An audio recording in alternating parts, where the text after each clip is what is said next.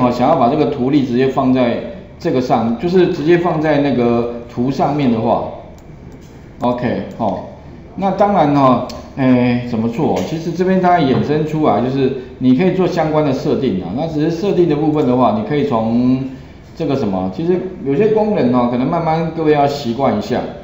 哎，比如说像这个图例哦，它假设这个不要，我希望把这个上面的讯息直接放在这个图上面的话，该怎么做？哦，首先第一个啦，我不要图例的话，这个东西不要的话哦，你可以把它关关掉哦。那关掉其实还蛮不太好找的哦。这个功能在哪里哦？在那个新增图表里面，特别重要，在枢纽分析工具的设计。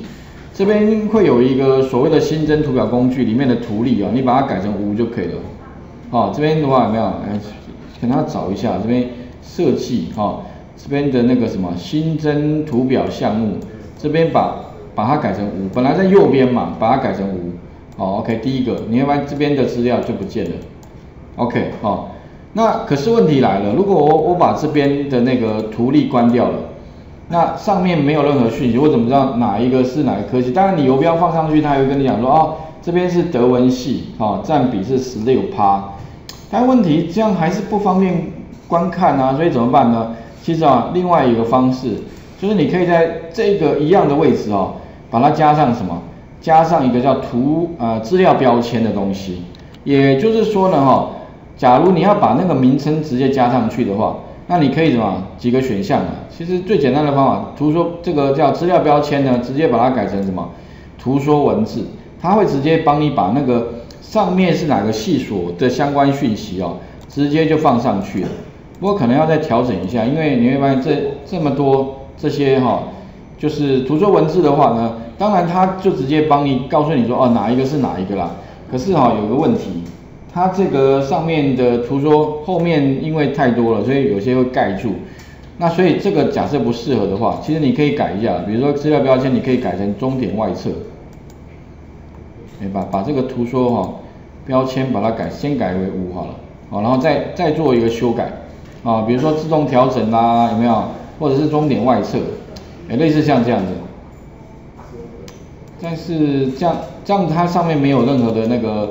哎，哪一个科系嘛？你可以再调整一下，直接在这个上方按右键，资料标签的格式，啊，格式部分的话，你可以把那个类别名称看打勾，哦，然后，哎，我如果把它改成百分比的话，类似像这样，但其实这边还是占比太多了，所以我们可以哈，再再稍微让它重重新调整，因为主要是这这一块太多了，所以也许你们可以自行再去。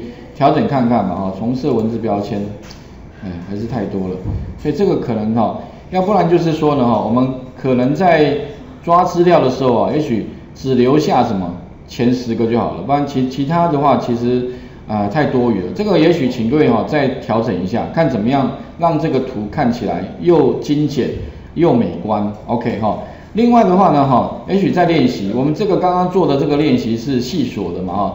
那请各位再做一个枢纽分析，做什么呢？呃，学院部分。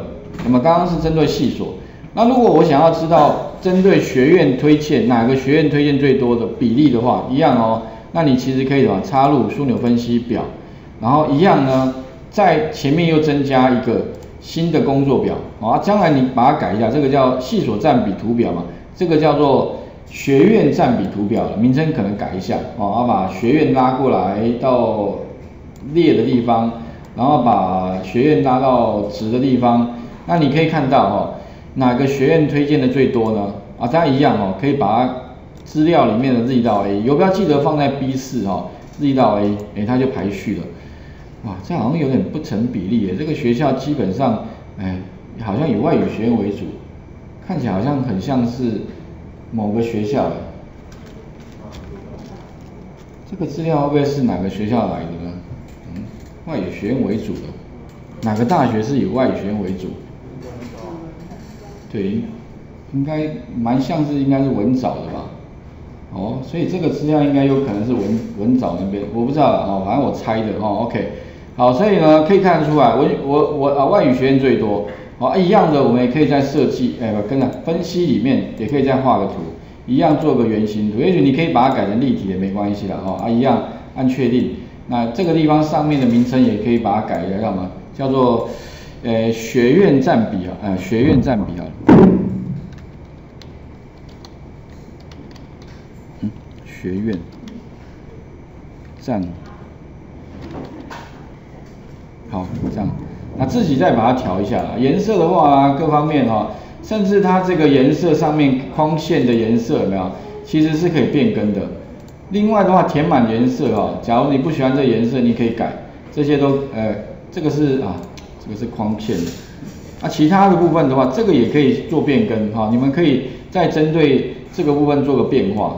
也就是说，我希望最后帮我绘制出来的话，总共会多两个枢纽分析表跟枢纽分析图，一个是学院的哈。一个是什么细锁，所以这边是系所，哎不，这是学院。好，OK，好，那画面再还给各位哈，我们先下课休息一下。